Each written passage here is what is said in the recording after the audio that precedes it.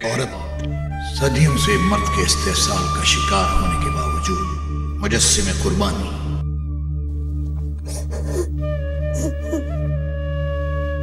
माँ के रूप में हो तो जन्नत उसके कदमों में, बहन के रूप में हो तो सरतापा दुआ, बीवी के रूप में हो तो वफादारी और ईसार की पैकर, और बेटी के रूप में हो तो रहमत।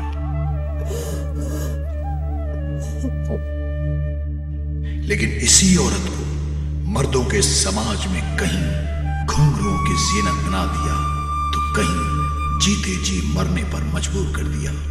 नहीं। सवाल है औरत का इस माशरे के हर उस मर्द से, जो औरत को पैर की जूती समझता है। लेकिन औरत को जीने की आरज़ू है Yeah.